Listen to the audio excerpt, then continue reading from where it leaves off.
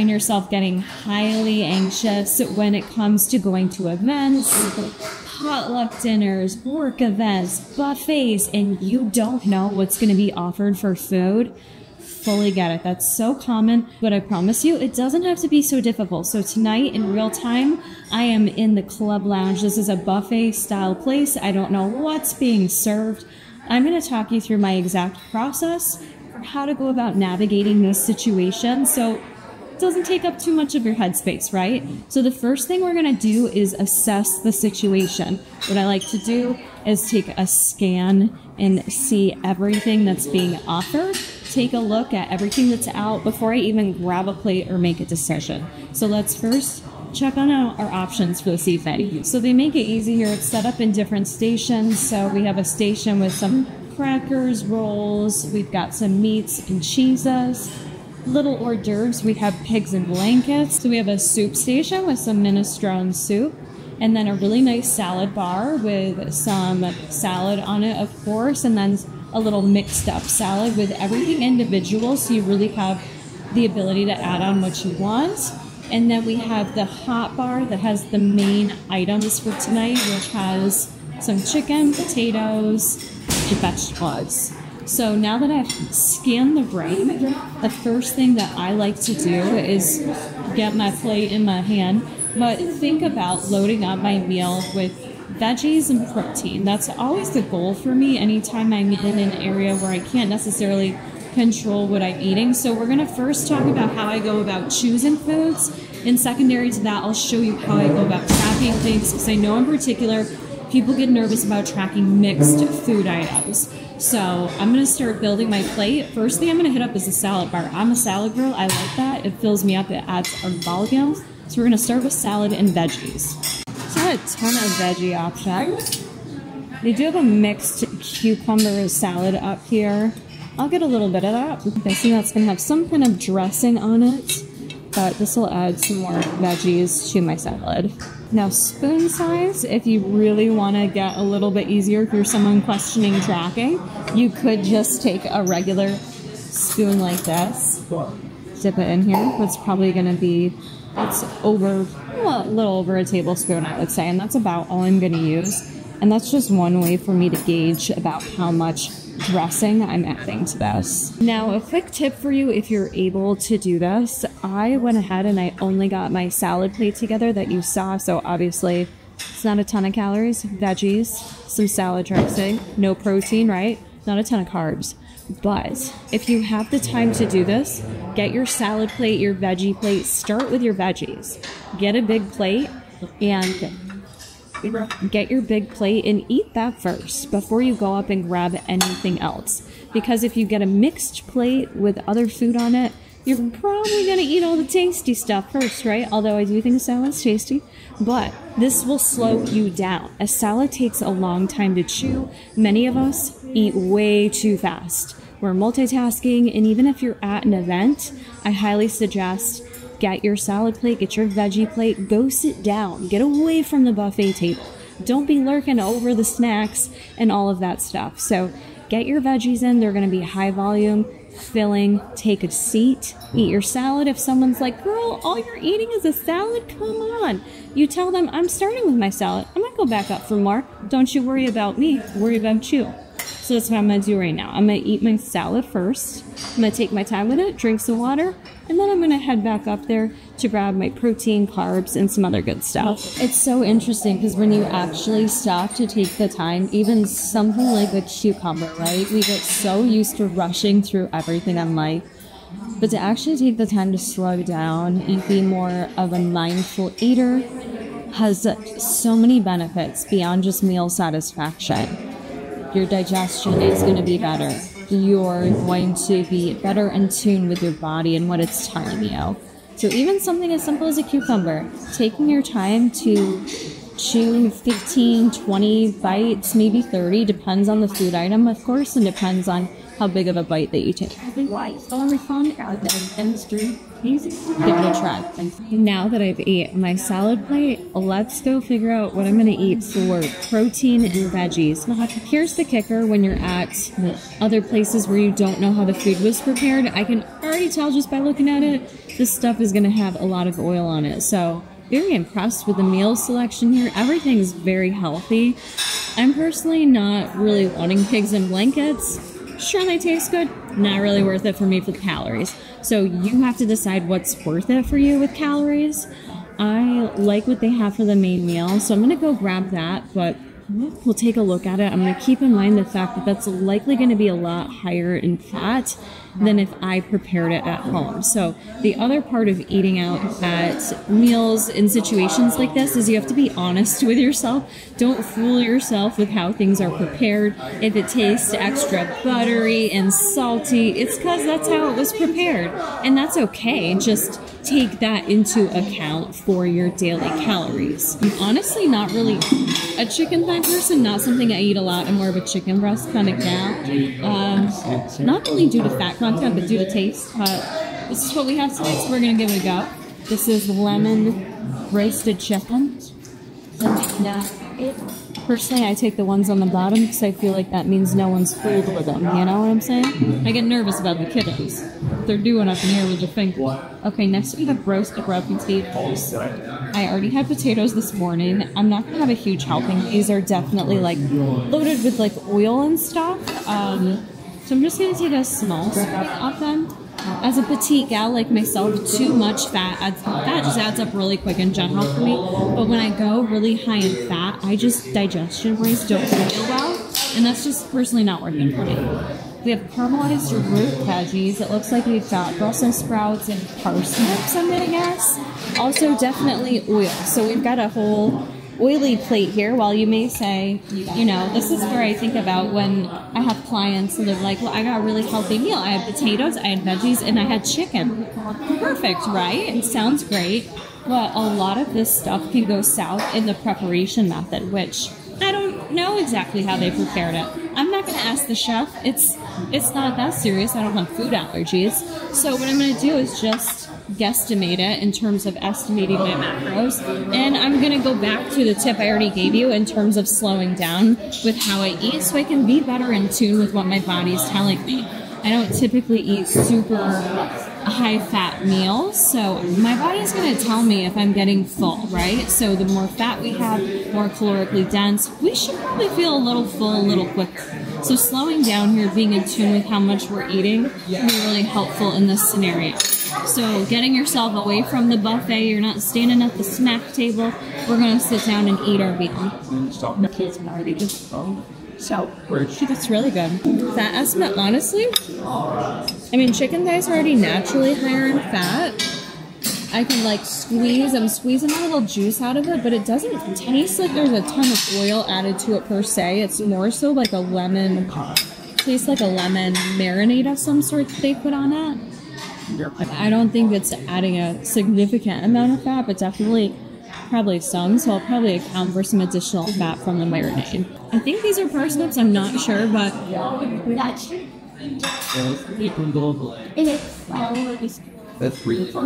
I don't really like them. I don't know why. Maybe they're not parsnips, but I'm just not a fan. So here's the other thing for you. When you're at events, if you don't like something, don't eat it.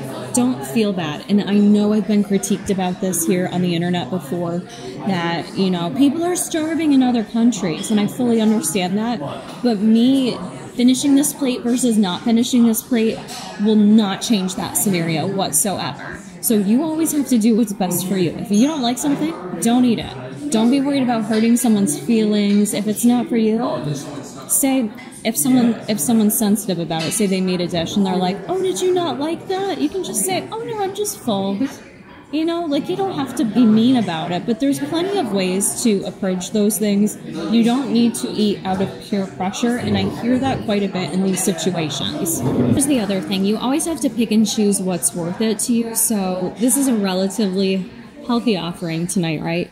Um, but likely you're going to be somewhere where there's desserts out, there's all kinds of other indulgences. And the one thing we haven't talked about yet is the indulgence of alcohol. That's a lot of times where people can feel very pressured or it's just habitual. You're used to at certain events, always drinking, whether it's with your friends or your family, and it can be hard to just break that habit. Um, but the alcohol itself is the one thing for me personally, I'd rather eat my calories versus drinking it. That's always been my preference. I'm not a huge drinker. So I would say pick and choose your battles there and choose one or the other. If you're wanting to indulge and have an alcoholic beverage, then I would definitely maybe skip dessert or you have to count that into your overall intake because that is going to hurt your progress. So I personally believe it's better to just avoid the alcohol altogether. You'll feel better, you'll think more clear minded throughout the evening as you continue a lot of times people drink and then they they lose their ability to make good decisions right? And then they get really snacky and then they end up overeating. So i personally would suggest skipping the alcohol and just sticking with focusing on the foods that you're eating hydrating. You can still have a drink in your hand get a soda or something if you're at an event where you feel like you need something in your hand. I get that too. But that is the one thing that will absolutely slow your progress and not provide you with any health benefits and that's not to say that I don't drink on occasion, but I do it when it's totally worth it to me. Now let's talk about how to go about tracking those meals you eat when you're out and you have no idea what goes into stuff.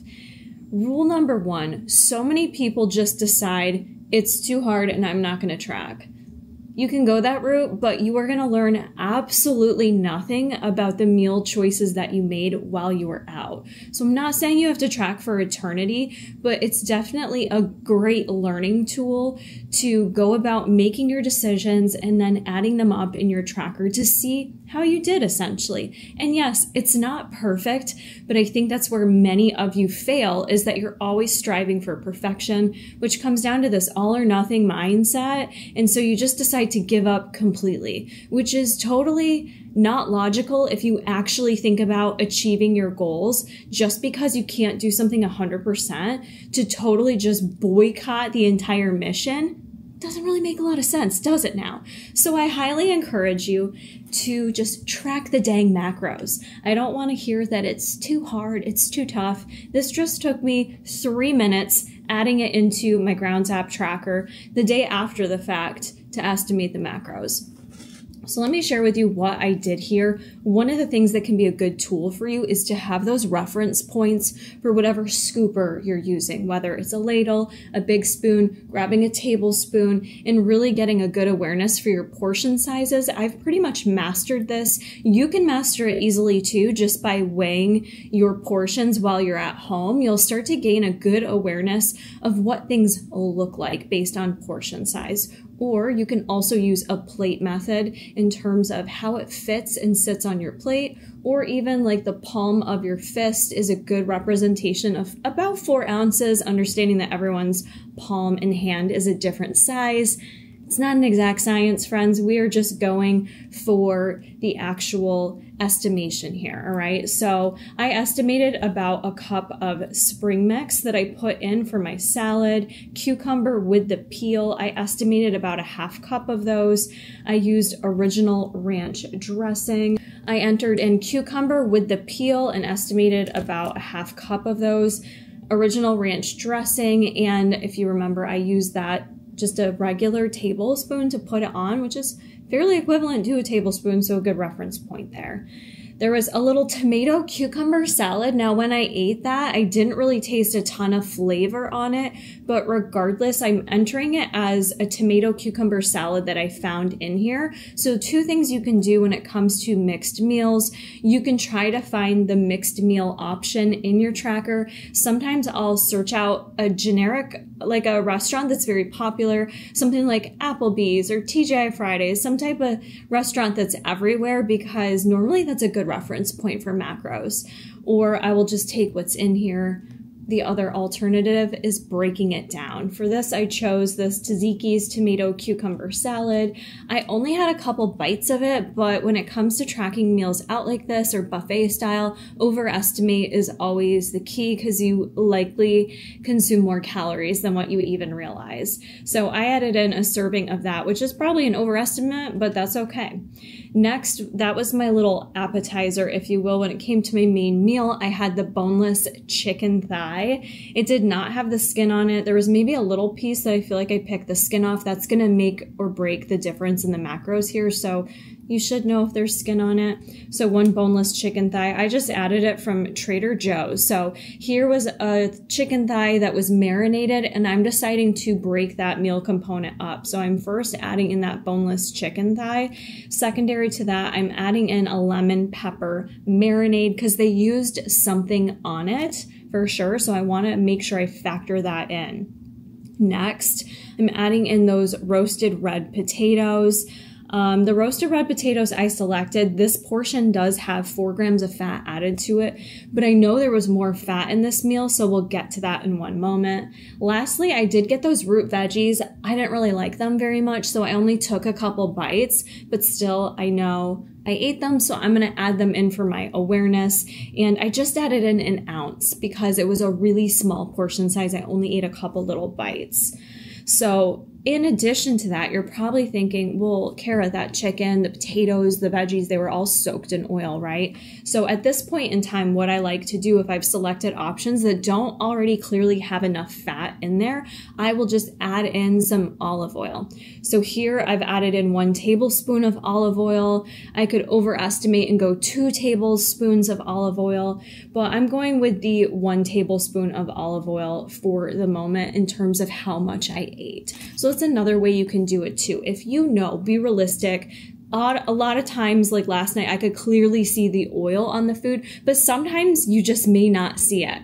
Um, there's a lot of ways that they sneak oil and butter into food that you may not visibly see or even taste. So it's a good reference point if you're able to listen to your body and you recognize you were pretty full from like a small meal. It's likely it was higher in fat or calories that you're not accounting for. So you could always just throw in an extra tablespoon of butter or olive oil to accommodate for those calories and, and, give you a good reference point. So for me, I did estimate this meal at 551 calories, 27 grams of protein, 31 carbs, and 36 grams of fat.